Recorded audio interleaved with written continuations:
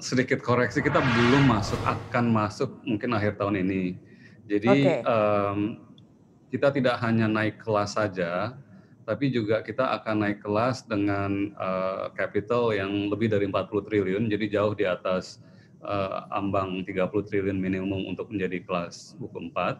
Uh, dan dengan rasio CAR yang diproyeksikan mungkin sekitar 29-30 persen. Jadi kita naik kelas dengan tingkat capital yang paling kuat di antara buku 4 gitu loh. Jadi itu satu yang ingin saya tekankan. Um, kenapa saya bilang belum naik kelas? Karena kita sedang dalam proses uh, merger antara uh, Bangkok Bank Indonesia dan uh, Bank Permata. Lalu ya memang um, garis besarnya seperti itu. Jadi uh, mudah-mudahan um, kita makin bisa kuat. Uh, kalau mengenai um, rencana pengembangannya bagaimana itu sebetulnya ada beberapa hal. Hal yang pertama kan sebagai bank universal tentunya kita cater semua dari UMKM sampai ke korporasi yang besar-besar, dari individu atau perusahaan, uh, dan dengan modal yang uh, yang cukup kuat atau mungkin paling kuat ya nanti setelah digabung itu um, kita berencanakan untuk melanjutkan beberapa program yang sudah kita mulai gitu. Yang pertama kita ingin mendigitalisasikan uh, semua cara-cara uh, kerja kita gitu dari back office kita ataupun juga delivery kita ke nasabah. Itu kita sudah mulai dan itu mungkin tractionnya juga uh, cukup baik.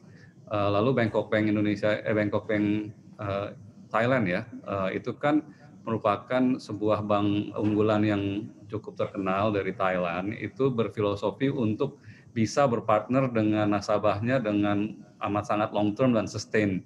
Jadi itu juga sesuatu filosofi yang kita akan kembangkan bersama-sama um, tentunya kita juga ingin selalu mengembangkan superior products dan services um, sehingga makin lama makin baik lah gitu.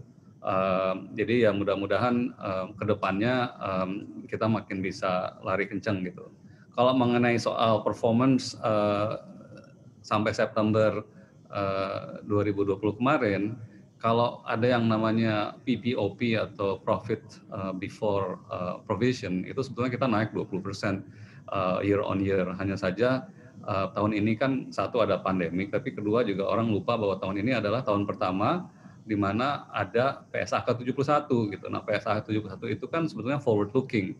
Jadi ada market uh, market um, risknya yang kita harus cover, ada juga forward looking daripada uh, yang mungkin berpotensi akan bermasalah uh, walaupun bisa kejadian atau tidak kejadian. Nah, jadi PSAK 71 lebih forward looking daripada PSAK yang sebelumnya.